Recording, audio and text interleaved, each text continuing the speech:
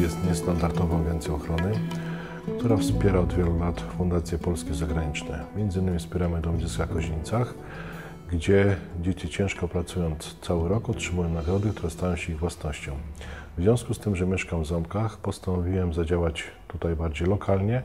Udałem się do burmistrza w Ząbkach z pytaniem, czy jest jakieś dziecko, które miało dotkliwą chorobę lub jakieś trudne przejścia losowe i ma jakieś swoje wyjątkowe marzenia.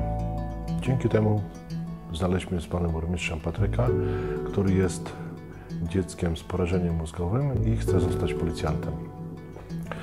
Ten sposób właśnie też spełnimy jego marzenie 1 czerwca, gdzie Patryk uratuje jedną z dzielnic Warszawy przed straszliwą katastrofą.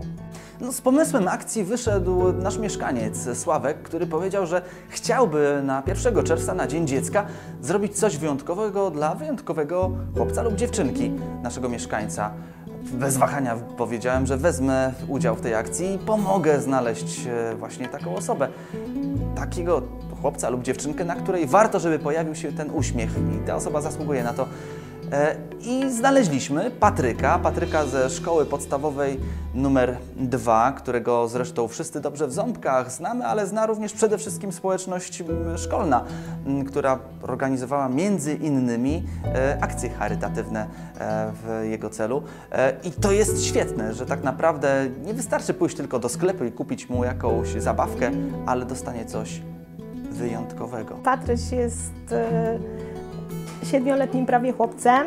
E, Jest chory na mózgowe porażenie dziecięce, diplegię spastyczną. Choroba jest wynikiem wcześniactwa. Urodził się w 29 tygodniu ciąży z wagą 1300. Mm, Diagnoza została postawiona w 8 miesiącu życia, że jest to mózgowe porażenie dziecięce. Jest to bardzo sympatyczny, uśmiechnięty i bardzo fajny chłopczyk. Mogło być tak w rzeczywistości różnie z nim, tak, bo jak się urodził, mówiono nam, że może nie chodzić, może nie mówić, nie słyszeć, ale na szczęście zostało mu tylko taki defekt jak nóżki, gdzie y, trochę słabiej chodzi. E, intelektualnie rozwinięty jest nad poziom swojego wieku. Szkole uczy się dobrze.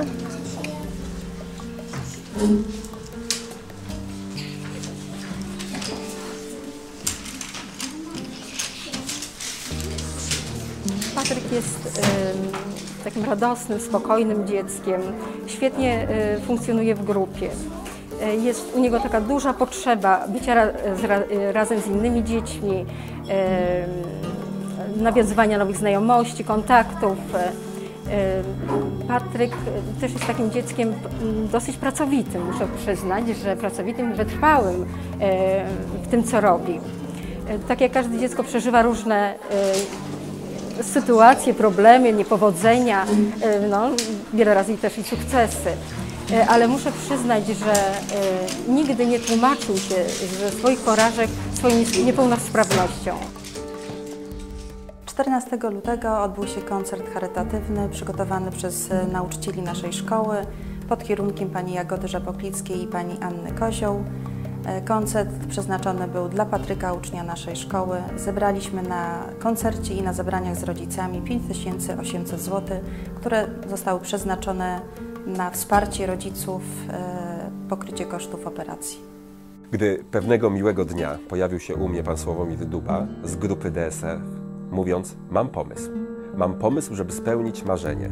Marzenie dziecka. Dziecka, które bardzo by chciało zostać policjantem. Podszedłem do tego z pewnym dystansem, ale im dłużej go słuchałem, tym bardziej przekonywałem się do tego, że taka idea jest bardzo dobra. Na rehabilitację z Patrykiem jeździmy trzy razy w tygodniu. Y, Chodzimy, jeździmy także na turnusy, które odbywają się w Centrum Zdrowia Dziecka lub w Zagórzu. Tam e, to trwa troszkę dłużej, bo e, dwa tygodnie, przez pięć dni w tygodniu, lub w Zagórzu to jest e, trzy tygodnie lub sześć, też codziennie. A tak korzystam z rehabilitacji prywatnej, no, która odbywa się trzy razy w tygodniu. Ćwiczy tak sobie ze względu na to, że jest ciągle rozciągany, co sprawia mu ból. Mm. Resztę ćwiczeń przechodzi prawie z uśmiechem na, na, na twarzy.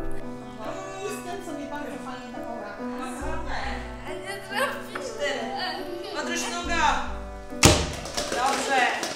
Dobra, jeszcze poproszę. Na dzień dzisiejszy y, Patryk miał robionych 5-6 zabiegów y, z botuliny. To jest lek, który powoduje to, że mięśnie zaczynają troszeczkę inaczej pracować.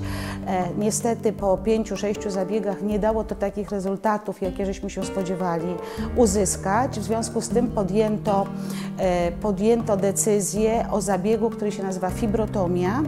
E, Dosyć kosztownym, nierefundowanym przez NFZ. Rodzice sami za ten zabieg zapłacili i po tym zabiegu była przerwa trzytygodniowa ze względu na zakaz prowadzenia terapii poprzez lekarzy ortopedów, neuroortopedów i po trzech tygodniach tego zabiegu z powrotem wróciliśmy do terapii e, po to, aby uzyskać prawidłowe wzorce chodu, czyli chcemy jak najbardziej, jak najlepiej, jak najbardziej fizjologicznie poprawić Patrykowi w tej chwili chodzenie, e, sprawność tego chodu, jak również uzyskać prawidłowości w e, prawidłowej postawie i w prawidłowym funkcjonowaniu w społeczeństwie.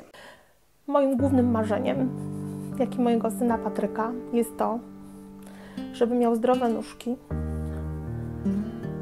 żeby choroba pozwoliła mu na tyle funkcjonować w przyszłości, żeby mógł założyć rodzinę, mieć własne dzieci i być tak z nich zadowolonych, jak ja z niego.